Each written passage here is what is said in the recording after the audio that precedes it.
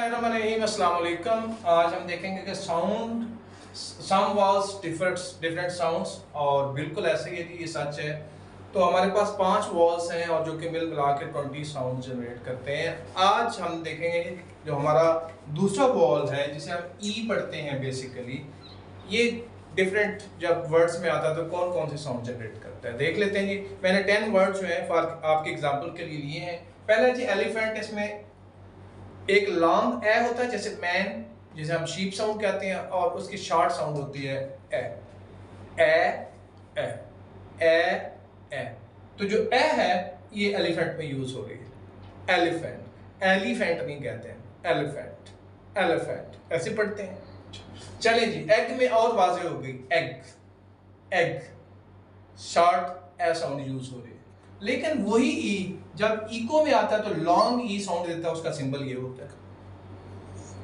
वही ई जब ईल में आता है तो वो लॉन्ग साउंड देता है। वही ई जब आईब्रो में आता है तो आय साउंड देता है। वो ई साउंड देता ही नहीं। वो जो शॉर्ट ए साउंड थी वो भी नहीं दी, जो लॉन्ग ई साउंड थी वो भी नहीं दी, उसने डिफरेंट साउंड दे दी आय दे दी।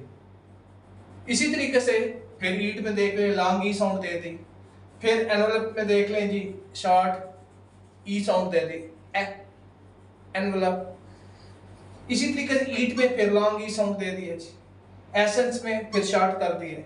और अर्थ में तो बिल्कुल डिफरेंट जाके उसने मोड ले लिया अर्थ इसको कहते हैं हार्ट साउंड अर्थ साउंड इसमें अंदर, जो आगे सॉरी ये साउंड देनी शुरू कर दी। अर्थ साउंड अर्थ अर्थ को अगर हम पूरा लिखना चाहें, मैं पूरा लिखना चाहूँ आपके लिए तो इस तरह लिखूँगा। ये है जी अर्थ ये था साउंड है और ये अर्थ है ये मैंने अर्थ लिखा है फोनेटिक्स में। तो यानी कि ये साउंड दे दी उसने। यानी डिफरेंट साउंड दे दी।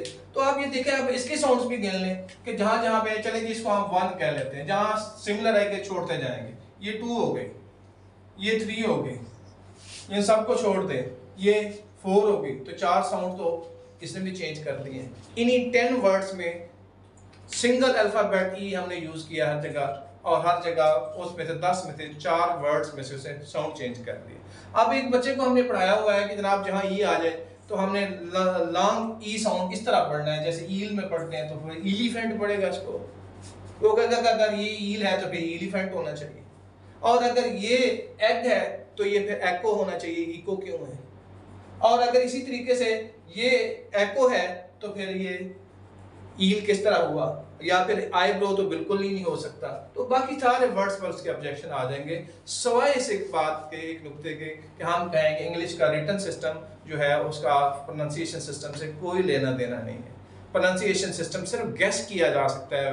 स्पेलिंग से वो सही भी हो सकता है, गलत भी हो सकता है। उसके लिए रेफरेंस बुक जो है, या स्टैंडर्ड जो होता है, वो रेफरेंस बुक होती है, जिसको हम डिक्शनरी कहते हैं। और वो भी अच्छी वाली डिक्शनरी ये कताबिस्तान तुर्कमानिस्तान अफ़गानिस्तान, ये वाली डिक्शनरियाँ नहीं ऑक्सफर्ड एडवांस लर्नर डिक्शनरी जिसके अंदर फ्रेडिक्स लिखी होती है आई इंटरनेशनल फोनेटिक अथॉरिटी की तरफ़ से की भी होती है और आर पी के मुताबिक उसका प्रोनाउंसिएशन भी चेक किया जाता है। उसी को आप कंसल्ट करेंगे। तो इस तरीके से आज हमने देखा कि ई जो है, जो हमने एवरेज निकाली हुई थी कि हर वॉल जो है, उन्होंने एवरेज चार साउंड ज़रूर देता है तो उसने वो चार पूरी कर दी। Thank you